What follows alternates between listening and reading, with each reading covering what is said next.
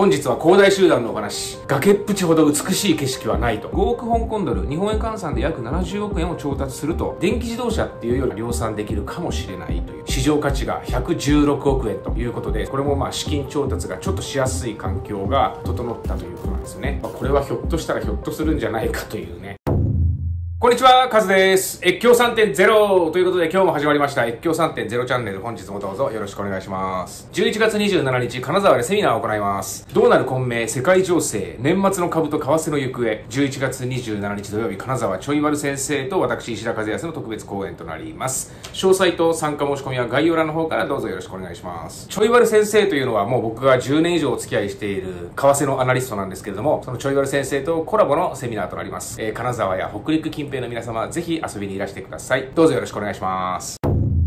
本日は広大集団のお話、えー、綱渡りが続く広大集団ですけれども、越境3.0チャンネルでも、まあ、たくさんの動画をね、これまで流してきてます。広大集団という会社がどんな会社なのか、そしてどういったいきさつでこういったデフォルト危機が起きているのか、過去20本以上動画を流していますので、こちらの中国広大集団のデフォルト危機という再生リストの方から順番にご覧いただければと思います。えー、本日もね、サプライズというか、えー、崖っぷちスレスレのニュースというか、そんなニュースをお届けしたいと思います。本日も広大集団のお話。昨日のブルームバーグのニュースです。中国広大再びデフォルト回避の見込み、社債3本の利払い履行ということで、国際証券決済機関の顧客がドル建て債3本の利払いを受け取る、社債3本の支払い猶予期間が10日に終了、正念場迎えていたということで、これまさにね、恒大集団崖っぷちなんですよね。でもね、崖っぷちほど美しい景色はないと言われているぐらいね、崖っぷちからこの這い上がってくる、このバネがね、この恒大集団の今の美しさというか、魅力というかね、まあ、だから世界がこの恒恒大集団を見守っていると言っても過言ではないと思うんですけれども、恒大集団ドル建て債の社債を30日間猶予期限ついていたものを昨日支払い完了したんですよね。なんだかんだ言って頑張って生き延びてます。ここでもう一度恒大集団がこれまで支払ってきた社債の利払いというのをちょっとおさらいしてみたいと思うんですけど、9月23日人民元建て3億3200万元、日本円換算の約56億円は支払い済み。9月23日米ドル建て8353万ドル、日本円換算で約91億円。これも支払い済み。で、9月29日4750万ドル、約52億円。これも支払い済み。で、今回ニュースに上がってきたのが、10月12日利払いのドル建て1億4813万ドル、日本円換算の約163億円で、